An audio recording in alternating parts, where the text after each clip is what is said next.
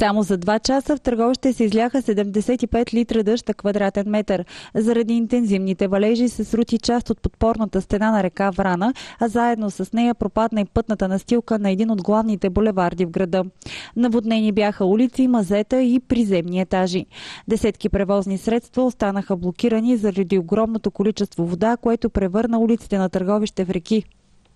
Най-големия проблем, който настъпи след този обилен дъжд е а, срутването на подпорна стена на тъй наречения крайречен булевард. Тази сутрин комисия направи проверка, направи оглед и вече сме възложили проектирането на този участък, за да можем евентуално да кандидатстваме в комисията по бедствия аварии за финансиране или вече ще търсим собствен ресурс, с който да можем да отстраним абсолютно компрометираната част от подпорната стена.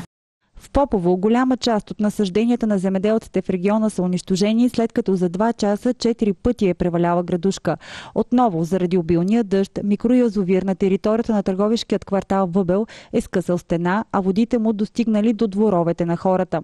Наша проверка установи, че водният обект е напълно незаконен, но повече по темата за водното съоръжение ще ви разкажем в следваща емисия новини.